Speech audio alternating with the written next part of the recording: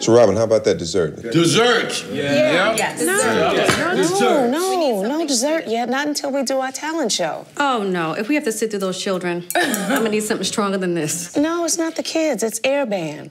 Ready from the top and playback. Can't Stand the Rain, the air band moment uh, of the film.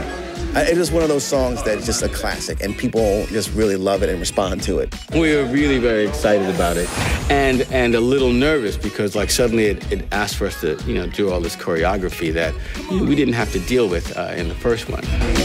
We got the best choreographer in the business, uh, Jamal Sims.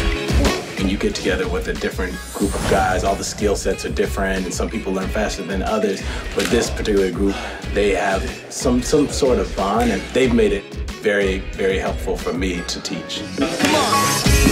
Harold Perrineau's the best dancer, Taye's the second best dancer, and you can't say dancer with me or Terrence because we're not dancers. Can I have my dance double do this one?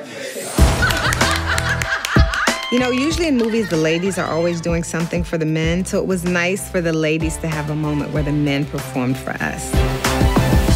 They were so cute and so well prepared and so sexy. I can't stand it. They really worked hard on it. They looked so amazing together. They looked so handsome. They had the moves down. I mean, they were freestyling. It was so much fun.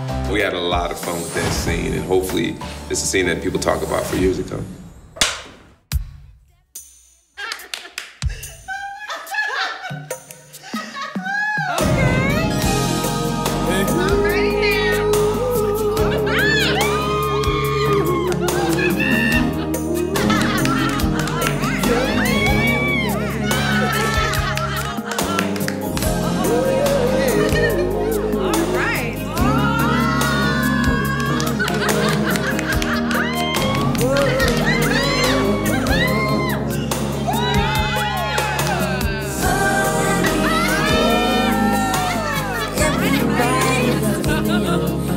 baby, can't understand.